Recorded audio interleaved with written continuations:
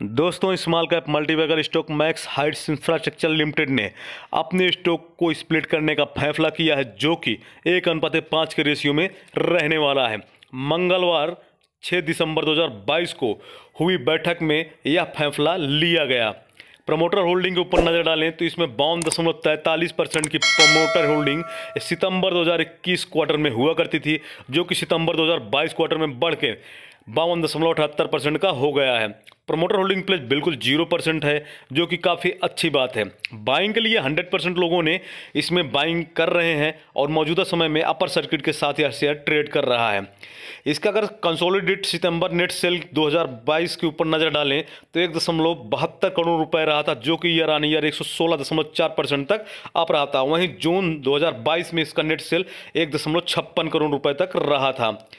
तैंतीस दशमलव पचास रुपये पर चार दशमलव पचासी परसेंट तेज़ी के साथ यह शेयर ट्रेड कर रहा है, जिसका बाउंड बिक हाई पैंतीस रुपये पच्चीस पैसे और लो ग्यारह रुपये पचहत्तर पैसे तक रहा था। इस कंपनी के मार्केट कैप के ऊपर नज़र डालें तो 50 करोड़ का मार्केट कैप है। बुक वैल्यू उन्नीस दशमलव तैंतालीस पीई चौदह दशमलव तिरसठ और फेस वैल्यू दस रुपये तक है। स्टॉक स्प्लिट का एक्स डेट और रिकॉर्ड डेट अभी तक तय नहीं किया गया है। यदि आप स्टॉक स्प्लिट का फ़ायदा उठाना चाहते हैं तो निश्चित तौर पे अपना ध्यान मनन करके इस शेयर में आप निवेश कर सकते हैं। दोस्तों शेयर मार्केट जुड़ी ऐसी तमाम जानकारियों से अपडेट रहने के लिए आप हमारे वीडियो को लाइक शेयर और चैनल को सब्सक्राइब कर सकते हैं। धन्यवाद।